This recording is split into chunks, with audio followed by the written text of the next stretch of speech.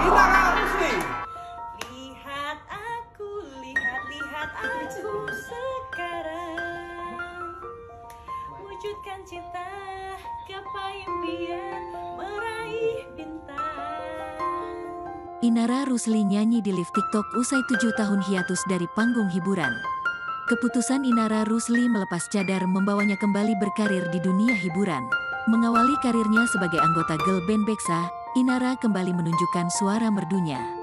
Setelah tujuh tahun lamanya hiatus dari dunia hiburan, Inara bernyanyi dalam live TikTok yang ia lakukan bersama dokter.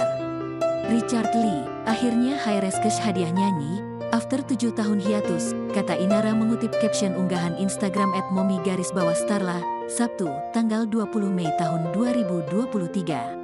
Inara membagikan suara merdunya itu sebagai hadiah bagi penonton live TikTok dengan menyanyikan salah satu single Beksa berjudul Lihat Aku.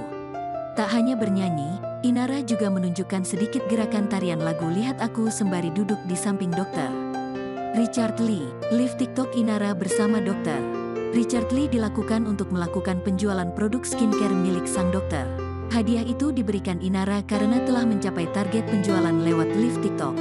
Sudah lama gak kerja, hari ini perdana TikTok Live capai target, tutur Inara dalam caption unggahannya. Setelah memutuskan untuk membuka cadar, Inara langsung digait dokter. Richard Lee untuk menjadi brand ambasador Atina. Mengenakan jilbab berwarna coklat, Inara tampak tersenyum lebar menjalani pekerjaan barunya itu. Inara mengaku bahagia karena bisa kembali bekerja setelah tujuh tahun lamanya.